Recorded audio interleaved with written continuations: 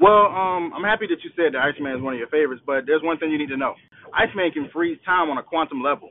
Flash cannot kill him by walking up to him. As long as there's water and moisture, he can just come back. If Flash is anywhere, Bobby can just like come from like nothing and just take the water out of Flash and reform. Then Flash can absolute zero the area. In fact, he can absolute zero the planet. Flash absolutely has no way to beat Iceman if he's trying to kill him. Plus, if Iceman wants to kill him, not really that hard. Flash doesn't have any way to beat Iceman, but Iceman has several ways to stop the Flash. Also, you need to know that um, as long as the green exists, Swamp Thing can't die. Just like Iceman, when it comes down to moisture, as long as there's moisture, he can't die. So Iceman is just like Swamp Thing, is just Swamp Thing like bigger on a, a bigger scale. Flash literally has no way to win.